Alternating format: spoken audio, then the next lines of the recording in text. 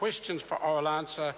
Question number one in the name of the Honourable David Cunliffe. Thank you, Mr. Speaker. To the Prime Minister, does he still stand by his statement, quote, there's no fundamental underlying reasons to believe there's a problem in our housing market? And if so, has his government done enough to assist people into their own homes? Right Mr. Speaker, Honourable Prime Minister. Mr. Speaker, yes, I don't believe there is a crisis in housing, particularly when you compare the current situation with that in the mid 2000s when house prices doubled and mortgage rates rose to as high as 10.9%. In answer to the second part of the question, Mr. Speaker, uh, this government is implementing a wide range of policies that will help people who want to buy their own home. Mr. Speaker, Supplementary question, Honourable David Cunliffe. does the Prime Minister maintain there's no housing crisis in Canterbury when an entire ward of mental health patients who don't need to be there are living in a hospital costing the DHB $13,000 a night due to a lack of affordable accommodation? Right, Honourable Speaker, Prime Mr. Speaker, Minister. I don't have the details that the member's talking about, but in relation to Christchurch, um, there's a significant amount of housing underway, taken in the context of the fact that we've had major Christchurch earthquake there. Mr. Speaker, again about Supplementary question, the Honourable David Cunliffe. What is he doing to speed up the rebuild of Christchurch when Deloitte's estimate that less than 1,000 of the 12 to 15,000 houses that Canterbury needs have actually yet been built? Mr. Speaker, Right, Honourable Prime Minister. Speaker, I I thank the member for asking that question uh, because it gives me an opportunity to outline actually what we are doing, which is the housing accord with Christchurch. Well, not enough is when house prices double and interest rates go to 11%. That's a shocker. But anyway, Mr. Speaker, we're progressing a housing accord with Christchurch to accelerate development on central and local government. As the member would have seen the budget, we're suspending duties and tariffs on imported building materials. We're reforming uh, legislation in this area, Mr. Speaker. We've extended the KiwiSaver first home deposit. But, Mr. Speaker, one of the things we are doing is addressing the issue of land. Interestingly enough, I did see a report that said increasing the supply of, of housing through identifying new land for residential development and lowering the cost of construction, which are both inputs into the cost of housing, are most likely the most likely ways to achieve a reduction in house prices in the long run. That was, of course, the Labour House Price Unit established in 2007 in DPMC. The then government, led by Helen Clark, did absolutely zippo, and that's why house prices doubled under Labour. Order, order.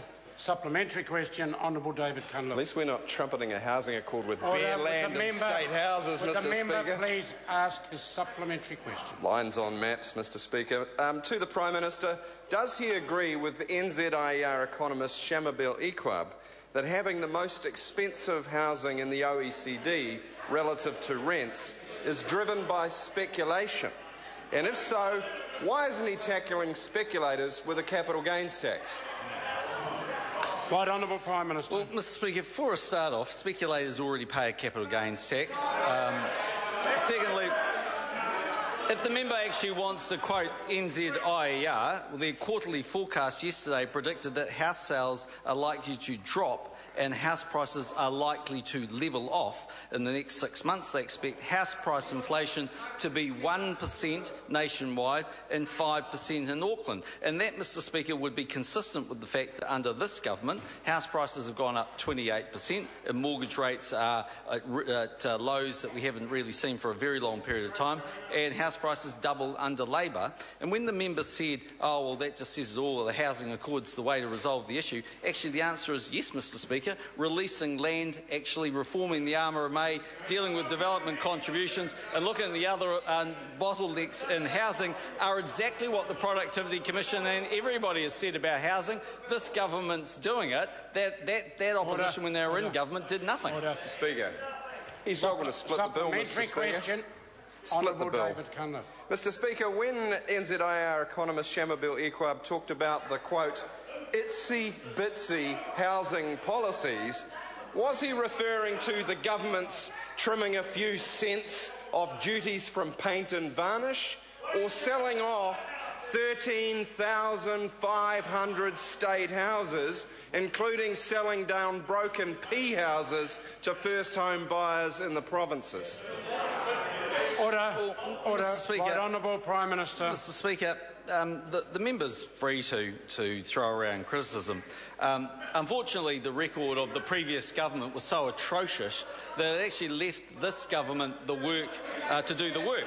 Mr Speaker, First thing we have done when it comes to Auckland is the housing, Auckland Housing Accord, which will produce, well, actually, it might be nine very soon if you keep going the way you are, son.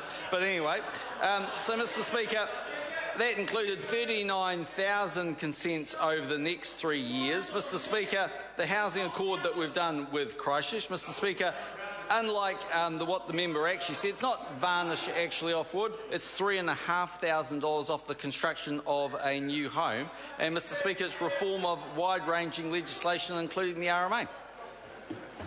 Mr Speaker. Supplementary question, the Honourable David Cunliffe. Mr Speaker, does the Prime Minister take the same view as his Minister of Housing? That he doesn't care that people in the regions may actually lose the whole value of their home as a result of imposing loan to value ratios? Right, Honourable Prime Minister. Mr Speaker, um, the member is quite wrong in the assertion he makes, but, but Mr Speaker, the member is often wrong. I noticed that a couple of days ago he was on TV with his dog whistle politics telling the world he didn't want migration. Point of order, Mr Speaker. Order. Order. Point of order, Honourable David. It's always nice, Mr Speaker, to hear the Prime Minister attempt to address a question, but preferably the one that's actually been asked. Sir. Order, order. And the Prime Minister did, because the question was, does he agree with the statement allegedly made by the Housing Minister? And he said he, he refuted the statement, said he did not agree. It's the second part, Mr Speaker. Mr Speaker, to Supplementary question, Honourable David Cunliffe. Mr Speaker, doesn't the Prime Minister realise that when the median house prices increased over 40% in Auckland since he took office and wages have been stagnant, that it is harder to get into a home in Auckland after six long years of his tired national government? Order, order. Right, Speaker, Honourable Prime Minister. Um, the member may feel tired, but I don't. Um, so, Mr Speaker, the second point is that under this government, house prices have risen 28%. It might be a little higher than everyone wants, but it's not 96%. You see, if you nine, to quote them, long years and you did something about it, maybe in opposition you'd actually be free to get up and make a few comments or criticise. But given that government, when they were there, did absolutely nothing, no wonder the public think they're a joke when they talk about this issue. But I know I'm happy to keep going, Order. actually, if no, you like. But, I, but I'm not. Yeah. Question number two, Honourable To Hanare. Thank you, Mr. Speaker. Order, order. I've called the Honourable To Hanare. Thank you.